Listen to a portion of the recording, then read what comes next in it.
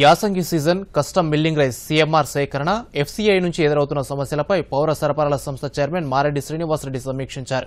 Rice మిల్లుల్లో ఉన్న ధాన్యం నాణ్యతా ప్రమాణాలు దెబ్బతినకుండా తగిన జాగ్రత్తలు తీసుకోవాలని ఈ సందర్భంగా ఆయన అధికారులను ఆదేశించారు. గత ఏడాది యాసంగిలో రికార్డు స్థాయిలో తొంభై రెండు లక్షల మెట్రిక్ టన్నుల ధాన్యాన్ని కొనుగోలు చేసి కస్టమ్ మిల్లింగ్ రైస్ కోసం మిల్లర్లకు అప్పగించినట్టు ఆయన వివరించారు. భారత ఆహార సంస్థ నుంచి ఎదురవుతున్న ప్రతిబంధకాలతో బియ్యం అప్పగించడంలో జాప్యం జరుగుతోందన్నారు. ఇందువల్ల మిల్లుల్లోనే డెబ్బై శాతం ధాన్యం నిల్వలున్నాయని వివరించారు.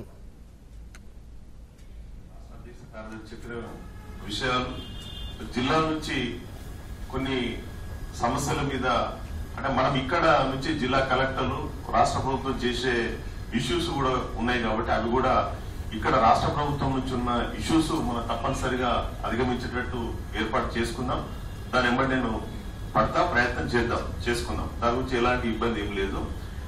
నేను అన్నట్టు ప్రధానంగా ఎఫ్సిఐ ఇష్యూ ఎక్కడికో అక్కడికే చుట్టుకొస్తుంది కాబట్టి దాన్ని మేము చేసే ముఖ్యమంత్రి గారు ఇంతకన్నా అల్టిమేట్ మనకేం లేదు. ముఖ్యమంత్రి గారే సాక్షాత్తు ఎన్నిసార్లు మాట్లాడడం జరిగింది. మరి పర్సనల్ కూడా కలిసి కూడా రిక్వెస్ట్ చేసి సాధ్యమైనంత వరకు తీసుకునే ప్రయత్నంలో భాగంగా చెప్పించడం జరిగింది.